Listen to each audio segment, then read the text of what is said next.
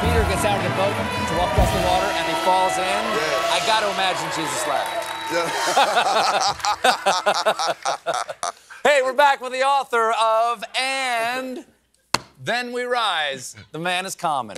Now, Common, you, you talk about reading some scriptures every day. What, what, do you have a favorite verse? Well, um, one of my favorite verses is from 1 Corinthians um, 13, and it talks about love, and it, and it says, Love is kind, um, love keeps no record of wrongs.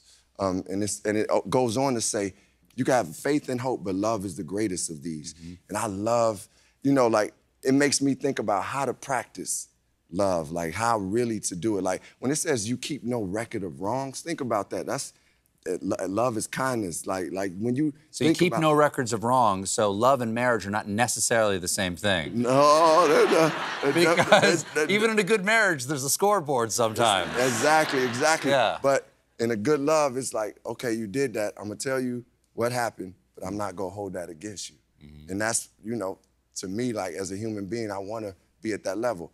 I'm not always there, but I know what to do and I know how to to practice it to get there. And those scriptures help, just being around, surrounding myself with that type of energy and just holding myself accountable and also not beating myself up when I don't do it. Mm-hmm. You know, just recognizing I can do better the next time. So as Jesus said, nobody's perfect. Nobody's perfect, baby. Nobody's perfect. Yeah. now, speaking of scripture, one of the things that I, I like to read that actually gives me peace is I love to read poetry. And I found out that you, you had a, a long and fruitful relationship with Maya Angelou. Here you are at her 82nd birthday in 2010. Yeah. A giant. Man. A giant of American letters. And I'm, cur- I'm curious, how did you first get to know her? Well, I was supposed to be a part of. Uh, a benefit. I was a part of a benefit, and one of the major people had dropped out of the benefit. Um, it was a fundraiser, and somehow my mother just said, "You know what I'm gonna do? Like I'm gonna call Dr. Maya Angelou."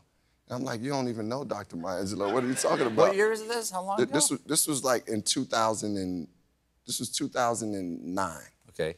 And she literally, my mother got in touch with Dr. Maya Angelou, and and said, "Hey."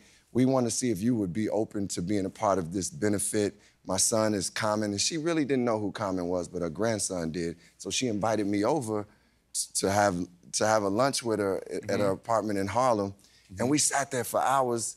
And I was just like, man, I'm sitting with mm-hmm. the person who really started me to writing. Like. Dr. Maya Angelou is the is when I was in elementary school, she was the writer that I remembered that made me want to write. So you're a poet and she's a poet. You guys sit there and trade bars? I mean, we, we definitely got bars. She'll give you bars and bars, but I, I, I wasn't wasn't at her level. But she did let me freestyle at a, at a birthday party, which was cool. You know, uh, I gave her some bars then. You know what I mean? you, as as part of your efforts in, in this message uh, for self love, not only for yourself but but for the the African American, the black community. Yes. You have this thing called a campaign called Make One Change. What is that? Yeah, Make One Change. It's just it's reinforcing what, what I'm talking about and, and and then we rise. Is like this is not a thing where like, yo, you gotta be a vegan or you gotta it's just just take one step towards bettering yourself. It could be, hey, I'm gonna drink some more more water today, or I'm not gonna be on the phone as soon as I wake up. Like I'm I'm actually gonna take some time to myself. I'm not gonna just wake up and look at my phone. Or it might be like, you know what, I'm gonna let some people know that I love them this, this day. Or, or I'm gonna exercise, I'm gonna take walks. Whatever you do, one step, one, one make one change. Because for me, that's all it was, was I took one step. And ironically, I started learning about health and wellness through hip hop. And I took that step and it was like, wow, okay.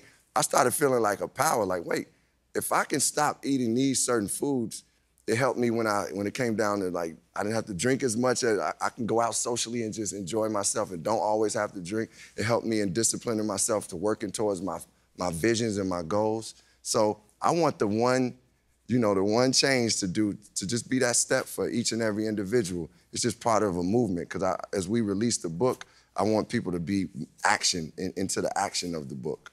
Well, the book is and then We Rise. It's available Tuesday. The man is Common, everybody. Common, thank you so much for being here. We'll be right back with comedian Steven Wright.